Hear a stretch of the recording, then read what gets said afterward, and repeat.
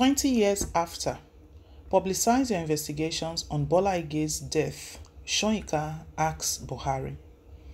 Unsolved crimes only lead to a culture of impunity, said Professor Wole Soyinka on the 20th anniversary of Chief Bola Ige, the former Attorney General of the Federation and Minister of Justice.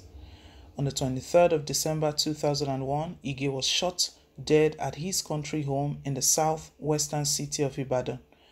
Many were arrested and tried for the involvement in the murder, but were acquitted afterwards. As at this moment, the killers are yet to be found. However, 20 years later, Soyinka queried President Muhammadu Buhari to make public the outcome of his investigations on Bola Ige's death. In a letter he addressed to Mrs. Folunsho Adegbola, daughter of late Ige, Soyinka condemned what he called the spate of political murders, asking President Muhammadu Buhari what happened to his promise of opening inquiry into the spate of murders in the country the country has witnessed in recent years. 20th year of Bola Ige Memorial Symposium, Two Decades of Injustice. What are the implications on Nigerian democracy? Organized by Bola Ige for Justice Center. The event witnessed prominent personalities that spoke against injustices in the country. The message read My dear Funsho, an 11th hour sadly insurmountable impediment, alas, prevents my joining you on this bittersweet occasion. Bitter for obvious reasons, but also a source of joy since it provides yet another opportunity for celebrating the passage of a remarkable individual, your late father, th- through the lives of the rest of us yet living. Let us be unstinting in our sustaining reminiscences. I particularly regret my absence as it provides a mandatory, inescapable occasion for directing a question at the nation's current leader, President Buhari. A demand that the entire nation, no matter the political inclination of her citizens, is morally obliged to make. My message proceeds. President Muhammadu Buhari, what has become of your robust pledge to open an inquiry into the spate of political murders that the nation has undergone in recent years? Does it all amount to yet another instance of political bravado? While we all accept that all lives should be valued equally, some impose a special responsibility on those in governance. Bola Ige, as the nation's Minister of Justice and United Nations civil servant designate, was unarguably one such. A nation's honor is in question and remain, remains so until the hour of closure. Thus, she must never relent in demanding an explanation for his brutal murder, expose the perpetrators, identify the conspirators, and reinstate the broken lines of justice.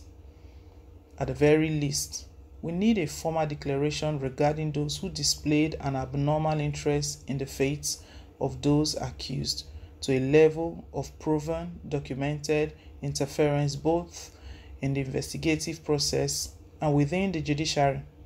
I'm not alone in having written and lectured on these sordid aspects that forward the subversion of justice. There are surviving witnesses. Unsolved crimes only lead to a culture of impunity. This puts the entire nation at risk, no matter the privilege of high level protection. This is a lesson that Nigerian leadership has yet to learn. President Buhari, share the rewards of your investigations, if any. Wole Soyinka. Wole Soyinka is well respected. He's a Nobel laureate. We know that um, he's well respected, not um, even um, nationally, but um, internationally as well. He's written a lot of books that has uh, gotten awards all across the globe. He's the one who is um, putting out um, this message to President Muhammad Buhari. He's asking President Muhammad Buhari, telling him to publicize his investigations on Bola Ige's death. Bola Ige was killed sadly um, about 20 years ago. About 20 years ago, he was shot on the 23rd of December 2001 by what we call unknown gunmen now because their faces they were not identified. We still don't know who gave the order, who was behind it, who masterminded everything. And uh, uh, is stating that uh, Buhari promised that he was going to investigate, but 20 years down the line, is nothing has come up. We've not heard any name, no face um, to that um, incident. So it was um, during um, the 20th anniversary organized for him as the former Attorney General of the Federation and also Minister of Justice. It was during that program he wrote to Bola Ige's daughter, Funsho, and um, expressing or appreciating Bola Ige, all Bola Ige did for the nation, and even after 20 years, he's still being felt, he's still being remembered, and told the daughter that, you know what, I have a question for the president and this is the question I have that the president um, has to explain to Nigerians what has become of the robust pledge. Because Buhari made this pledge that he was going to open an inquiry into the spate of our political murders. He was going to, even the past ones, because of late we've been seeing that uh, uh, killings have been happening. We're witnessing insecurity, but if we look at the political scene, killings have been happening as well. And if Buhari keeps quiet, that means something is amiss. He's saying that he's telling Buhari that share the rewards of your investigations if you have any. That's if you've even made any attempts. If you've made any attempt, I know President uh, presidency will jump at this because they always have a word, they always have a reply. We'll wait to see what they are going to say to Wale Soyinka. Wale Soyinka is serious about this.